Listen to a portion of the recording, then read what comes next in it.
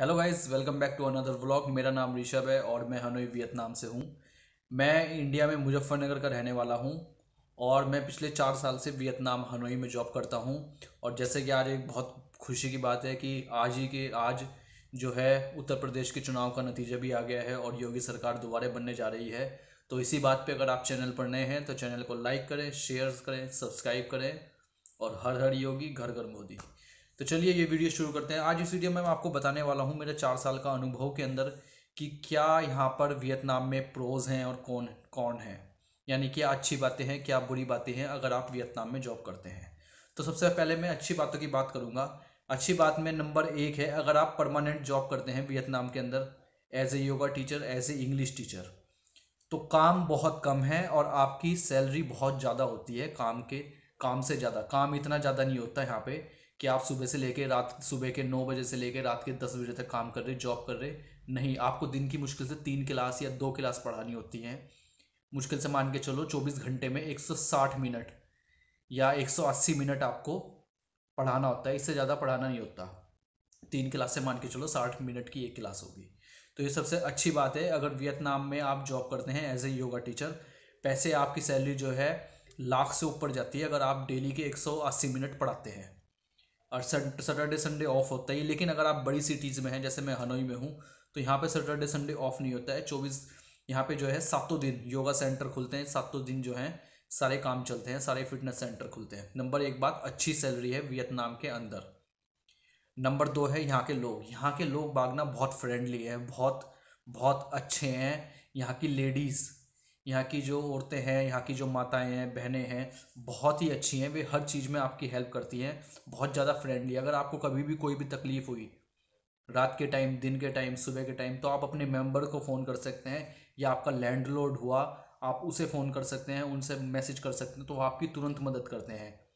जैसे कि आज से दो साल पहले मेरे जो है, एक बार पेट में दर्द हुआ था तो मेरे लैंडलॉर्ड ही मुझे हॉस्पिटल लेके गया था रात को दो बजे। मैंने खाली एक मिस कॉल मारी थी या मैसेज छोड़ा था मैंने कि मुझे पेट में बहुत दर्द हो रहा तो ये बहुत अच्छी बात है वियतनाम के अंदर। ऐसे ही बहुत लेडीज़ जो है, यहाँ की वो इतना प्यार, इतनी मोहब्बत करती है। आपको जो है अपने पुत्र की तरह और जो है अपने जो है दोस्त की तरह आपको रखती है। इतना अच्छा यहाँ का माहौल है। एज ए योगा टीचर अगर आप योगा टीचर हैं तो लेडीज़ आपकी बहुत बहुत बहुत केयर करेंगी। तीसरी चीज़ है फ़ूड फ़ूड यहाँ का बहुत ही अच्छा है, बहुत टेस्टी है। बहुत ही जो है लाभदायक है हेल्थी फ़ूड है। क्योंकि यहाँ पर जो है अधिकतर सारे फ़ूड जो है बॉइल्ड खाए जाते हैं। याद रखिए, वियतनाम में मसाला नहीं खाया जाता। जैसे हमारे यहाँ खाए जाते हैं गरम मसाला हो गया, काली मिर्च होगी या और अलग अलग तरह के जितने भी मसाले हो गए, धनिया हो गया, जितने भी मसाले खाते हैं, यहाँ पे कोई मसाला नहीं खाया जाता। अधिकतर यहाँ का फ़ूड आपको नॉन वेज मिलेगा। मैंने कई बार कहा अपनी वीडियो में, चाइना और वियतनाम, जापान, इन देशों में एक कहावत है कि जो भी चीज़ जो भी जीव जंतु चार पैरों वाला है, वो सब यहाँ पर खाया जाता है। खाली कुर्सी मेज को छोड़ के। बाकी सारे जीव जंतु यहाँ पर खाए जाते हैं, लेकिन उसकी चिंता आप ना करें। यहाँ पर जो है वेज फ़ूड भी है। वेज फ़ूड भी बहुत अलग अलग तरह का है। बहुत अच्छे अच्छे रेस्टोरेंट है, थोड़ा सा आपको ढूंढना पड़ेगा। तो अगर आप जो है फ़ूड के शौकीन है, अगर आप सब कुछ खा लेते हैं तो ये देश आपके लिए बना है। याद रखिए, फ़ूड बहुत अच्छा है, बहुत टेस्टी होता है।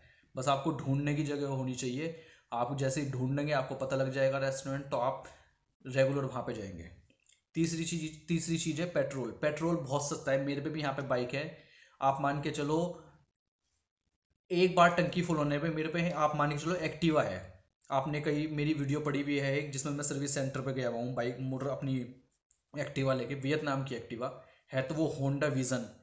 लेकिन मैं उसे एक्टिवा कहता हूँ। मतलब इंडिया के हिसाब से आप समझ जाओ कि जैसे इंडिया में हम एक्टिवा यूज़ करते हैं, ऐसे यहाँ पे मैं होंडा विजन यूज़ करता हूँ। उसकी एक वीडियो पड़ी हुई है मेरे चैनल के ऊपर, आप देख सकते हैं मैं कौन सी बाइक की बात कर रहा हूँ। तो पेट्रोल यहाँ पे बहुत सस्ता है, जैसे कि मैं न्यूज़ में देखता हूँ कि इंडिया में पेट्रोल सौ, डेढ़ सौ कभी कभी इतना ऊपर जा रहा है, लेकिन वियतनाम में पेट्रोल बहुत सस्ता है। यानी एक बार टंकी में जब फुल करा देता हूँ, एक बार जो है सौ वी लगते हैं। यानी तीन सौ वी तीन सौ रुपये में, इंडिया के तीन सौ रुपये में मेरी एक बार टंकी फुल हो जाती है और वो चलती है दस दिन। दस दिन चलती है मेरी होंडा विजन की टंकी, जिसमें कि मैं क्लास से जो हूँ, एक दस दस किलोमीटर दूर क्लास से लेता हूँ।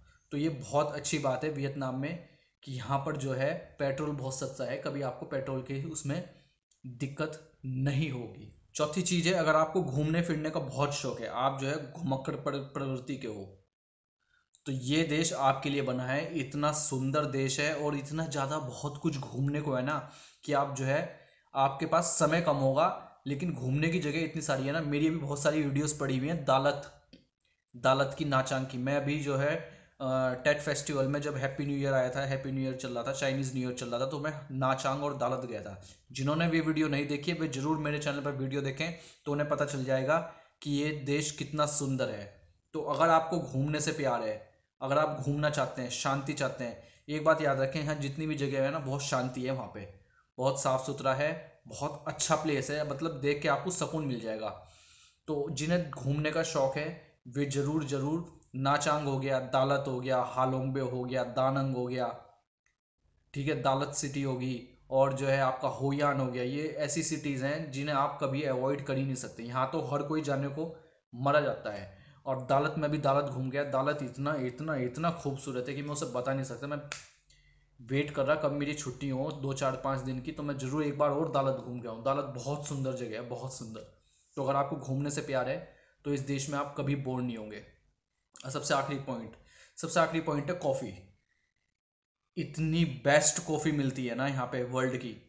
इतनी स्ट्रॉन्ग कॉफ़ी अगर आप सो रहे हो ना अगर आपके अंदर ऊर्जा की कमी हो तो वो कॉफ़ी पीते ही ना आप जग जाओगे और एनर्जी का लेवल इतना हाई हो जाएगा ना कि बस आप टेस्ट इतना अच्छा होता है ना टेस्ट भयंकर अलग अलग तरह की कॉफ़ीज़ होती हैं यहाँ पे। ठीक है, दूध वाली होगी, शहद वाली होगी, भूरे वाली होगी, आपको जो है ओनली ब्लैक कॉफ़ी पीनी, और भी बहुत अलग अलग तरह की जो खाली वियतनाम में मिलती है, कहीं और मिलती भी नहीं। तो ये मैंने आपको बताया फ़ायदे वियतनाम में, अगर आप लंबे टाइम तक रहना चाहते हैं और अगर आप यहाँ पर जॉब करते हैं। अब आ जाते हैं कुछ ऐसी बुरी बातों पे जो मुझे बिल्कुल अच्छी नहीं लगती और जो आपको पता होना चाहिए वियतनाम में सेटल होने से पहले। नंबर एक है ट्रैफ़िक। मैं हनोई में जॉब करता हूँ। मेरी क्लास अब है छः बजे। तो मैं घर से निकलूँगा पाँच बजे। पाँच भी नहीं, चार पैंतालीस में निकलूँगा। और मेरी क्लास है, मेरे घर से जो है आठ किलोमीटर दूर है। तो आप देख रहे छः बजे की क्लास है, मैं चार पैंतालीस पे क्यों निकल रहा? मतलब एक घंटा पहले। क्योंकि ट्रैफ़िक इतना है इस हनोई के अंदर, इतना ट्रैफ़िक है, अगर आप एक जगह रुक गए ना मतलब मान लो किसी एक ट्रैफ़िक की लाइटों पे रुक गए आप, कम से कम 20 से 25 मिनट आप वहीं फंसे रहोगे।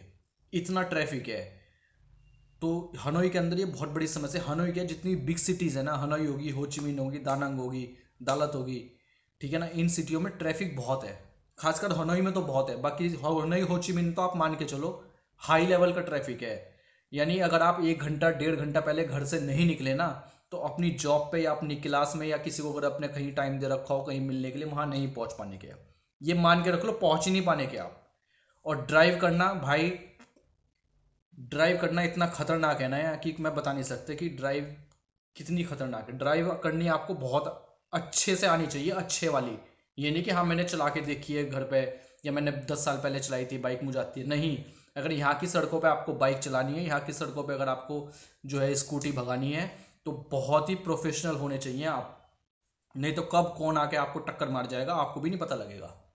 अब वहाँ पड़े रहोगे, धरती पर कोई उठाने भी नहीं आने का। तो नंबर एक जो सबसे बुरी बात लगी है मुझे ट्रैफ़िक नंबर दो जो है, जब आप सामान खरीदने जाते हैं, किसी मॉल में जाते हैं, किसी दुकान पे जाते हैं, किसी शॉप पे जाते हैं, जो भी सामान खरीदते हैं, वो इंग्लिश लैंग्वेज में नहीं होता। यानी आप कुछ सामान खरीदोगे, या तो आप फ़ोटो देख के समझ जाओ कि हाँ भाई इसके अंदर क्या है। जैसे इंडिया में है, इंडिया में हिंदी में भी है, इंग्लिश में भी है, या आप किसी और सिटी में जाओगे, वहाँ पे हिंदी में भी है, इंग्लिश में भी है। यहाँ इंग्लिश में नहीं है। हर चीज़ के ऊपर, रैपर के ऊपर, वो सब कुछ वियतनामी लैंग्वेज में लिखा होता है। एक बार ऐसा हुआ था, मैं अंडे ले आया था। अब अंडे दो तरह के हुए हैं एक तो होते हैं बत्तख वाले, और एक होते हैं वो चिकन वाले।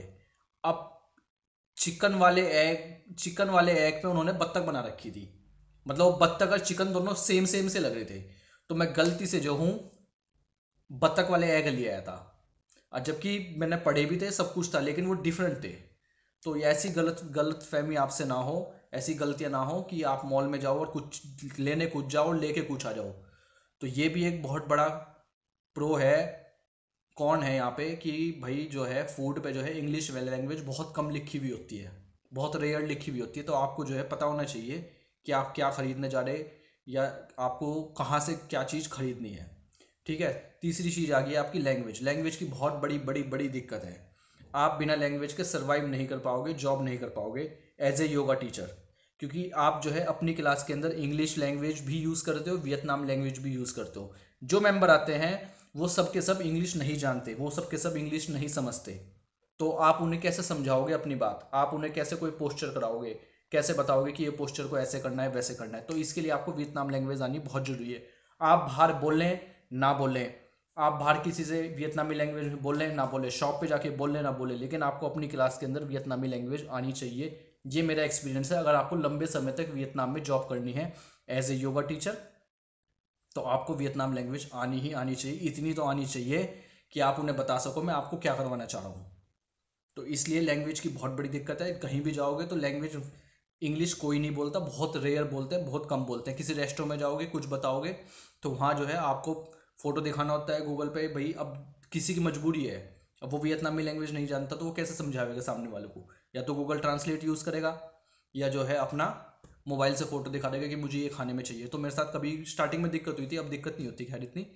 लेकिन बाहर मार्केट में तो दिक्कत होती है, लेकिन क्लास में मेरी जो है वियतनामी लैंग्वेज में ही होती है। अब तीसरा सबसे बड़ा पॉइंट है पॉल्यूशन पॉल्यूशन बहुत भयंकर लेवल का है। आपने देखा होगा, यहाँ मास्क ना, जब कोविड नहीं था, तब भी ऐसे ही लोग पहनते थे जैसे आज के समय में कोविड में पहन रहे हैं।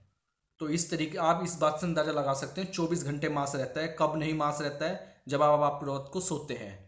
यानी घर से बाहर निकलोगे ना आप, जैसे ही घर से बाहर आपने कदम रखा, कपड़े हों, बदन पे ना हो, मास्क होना बहुत ज़रूरी है। जो लिख के रख लो टैटू बनवा लो इसका। मास्क होना बहुत ज़रूरी है, चाहे कोविड हो, कोविड ना हो, बीमारी कोई हो, बीमारी कोई ना हो, शांति हो सब जगह, लेकिन मास्क होना बहुत ज़रूरी है। जहाँ भी जाओगे, जब भी जाओगे, अपने साथ मास्क ज़रूर लेके जाओ, क्योंकि अगर एक हज़ार लोगों के बीच में आप बैठोगे तो नौ सौ निन्यानवे मास्क पहने हुए हैं और एक मात्र एक आप वही अलग दिखोगे वहाँ सब में जिन्होंने, जिसने मास्क नहीं पहन रखा। तो इस बात का हमेशा ध्यान रखें कि जब भी आप वियतनाम में जॉब करें या कुछ भी करें, मास्क ज़रूर पहन के रखें, चाहे कोविड ख़त्म हो जाए या नहीं हो जाए। चौथी चीज़ आते हैं, मैप्स। गूगल मैप्स बहुत ही बहुत ही अजीब तरह के हैं यहाँ के रास्ते। यानी एक सिटी से दूसरी सिटी में जाने के लिए बहुत दिक्कतें होती है तो गूगल मैप का आप सही सही यूज़ करें। पहले पता लगा लें कि आपको कहाँ जाना है, कितनी देर का घंटे है, कितनी देर के, कितनी देर का आपका रास्ता है, और किस कौन कौन से, किस तरीके से, किस ब्रिज के ऊपर को जाना है। कई बार ऐसे होते हैं, कई ब्रिज में ना अलाउ नहीं होता। यानी जैसे इंडिया में है इंडिया में तो आप जा सकते हैं बिल्कुल। ठीक है ना? कहीं से भी, कहीं को भी निकाल दो अपनी बाइक लेकिन यहाँ से नहीं निकाल सकते अपनी बाइक की, कहीं भी निकाल दो। कुछ ब्रिज बने हुए हैं जो बसेस के लिए हैं, कारों के लिए हैं बड़े बड़े ट्रकों के लिए हैं। लेकिन वहाँ पे जो है, माँ, वो नहीं लिखा होता, साइन नहीं लिखा हुआ होता कि यहाँ पे अलाउ नहीं है या वैसे नहीं है। तो इस बात का हमेशा ध्यान रखें, अगर आप बाइक से ट्रैवल करते हैं तो इस बात का आपको पता होना चाहिए कौन सी सड़क कहाँ पे ली जा रही है। क्योंकि अगर आप किसी भी गलत ब्रिज पर चढ़े तो वहाँ पर आपका चलान कर जाएगा बिल्कुल। चाहे आप फॉरनर हो, चाहे आप वियतनामी हो, कोई वियतनामी तो चढ़ते ही नहीं। फॉरनर ही चढ़ते हैं, उन्हें लगता होगा कोई रोकने का नहीं, कोई टोकने का नहीं। मेरे साथ कई बार ऐसा हुआ, गलत ब्रिजों पर मैंने बाइक चला दी। क्योंकि गूगल मैप देख के चला ना मैं। गूगल मैप में कई रास्ते वो दिखाता है, आपको ढूंढना पड़ता है, वहीं पे पूछना पड़ता है, बाइक रोक के इधर उधर पूछ लो कि मुझे इस सिटी में जाना है तो कौन सी रोड जाएगी, इधर जाएगी, उधर जाएगी रोड होती है नीचे की तरफ़। लेकिन आपको कभी ब्रिज पर जो है ट्रैवल नहीं करना होता बाइक लेके। बाइक अलाउ नहीं होती वहाँ पे। ठीक है, कई बार आपको साइन बोर्ड मिल जाएँगे, कई बार आपको साइन बोर्ड नहीं मिलते। तो ये बात हमेशा ध्यान रखें कि गूगल मैप का सही इस्तेमाल करें देख दाख के। और सबसे बड़ी बात है पानी। पानी जो है, यहाँ पर जो है टैप वाटर नहीं होता, यानी टंकी वाला पानी नहीं होता। आपको जो है एक्वा गार्ड लगाना होता है, या आपके पास कैटल हो, गर्म पानी करके आप पी सकते हैं। जैसे इंडिया में है। इंडिया में जो हूँ, जब मैं मुजफ्फरनगर में हूँ, मुजफ्फरनगर का रहने वाला हूँ तो मैंने या तो टंकी का पानी पिया या नलके का पानी पिया। ठीक है ना? जब हम खेलने जाते थे किसी ग्राउंड में तो वहाँ पे पानी पानी तो होता नहीं था तो पानी का कैसे पीते थे हम? नलके का पानी पीते थे। और उससे हमें कभी आज तक दिक्कत हुई नहीं। घर में जाते हैं, आज भी हम टंकी का पानी पीते हैं, नलके का पानी पीते हैं। तो लेकिन वियतनाम में बहुत बड़ी समस्या है। किसी भी सिटी में चले जाओ, किसी भी शहर में चले जाओ, पानी की समस्या आपको मिलेगी मिलेगी। तो ये बात हमेशा ध्यान रखें, पानी की बोतल अपने पास रखें। ये बहुत बड़ा मुझे जो है कौन कौन लगाया कि पानी नहीं है यहाँ पे पीने का। तो यही मैं आपको बताना चाह रहा था इस वीडियो के माध्यम से कि क्या प्रो है और क्या कौन है। वियतनाम एक बहुत बढ़िया देश है, बहुत सुंदर देश है, बहुत अच्छा देश है। अगर आप यहाँ पर जॉब करना चाहते हैं, अगर आप यहाँ पर आना आना चाहते हैं तो मेरे चैनल को लाइक करें शेयर करें सब्सक्राइब करें। क्वेश्चन पूछें वियतनाम से रिलेटेड आपको कोई भी क्वेश्चन पूछना हो तो मैं उसका रिप्लाई ज़रूर ज़रूर करता हूँ, हमेशा करता हूँ। और आज जैसे कि जो है, उत्तर प्रदेश में योगी जी की सरकार बन गई है, मुझे बहुत खुशी हुई है। मैं उन्हें यहाँ से भी फॉलो करता हूँ। तो आप अगर चैनल पर लाइक चैनल पर पहली बार आए हैं तो योगी सर, योगी जी की वजह से इस चैनल को ज़रूर ज़रूर सब्सक्राइब करें। मैं आपको मिलता हूँ नई वीडियो में। Thank you so much bye bye take care I love you all